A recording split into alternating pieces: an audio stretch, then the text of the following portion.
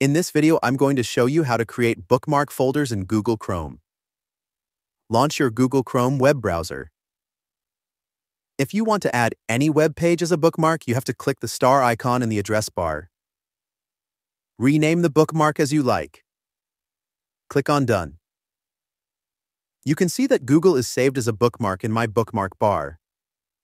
If your computer doesn't show the bookmark bar, click on the three vertical dots located in the upper right corner of the browser. Select Settings from the drop-down menu.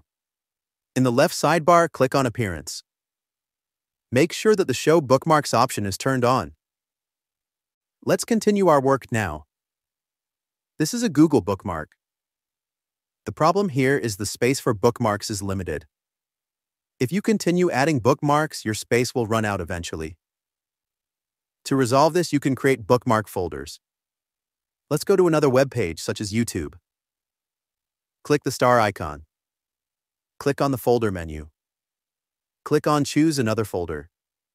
Click on New folder. Rename the folder as you like. Click on Save. You can see that I have created a new folder in the bookmark bar. If you want to add more web pages to the folder, go to another web page. Click on the star icon. In the folder menu, you add your bookmark wherever you like. Let's add it to our newly created folder. If you want to add a web page to the folder that is already added to the bookmark bar, just drag that bookmark to your folder. Now, if I click on our folder, you can see that all of our bookmarks are saved here. Feel free to reach out if you encounter any issues during the process. If this video helps you out, please leave a like and subscribe. Comment below if you have any questions.